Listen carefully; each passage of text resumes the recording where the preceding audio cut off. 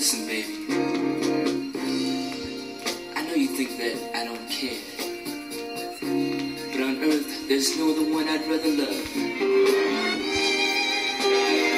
So take heed to these words and hold them ever so dear.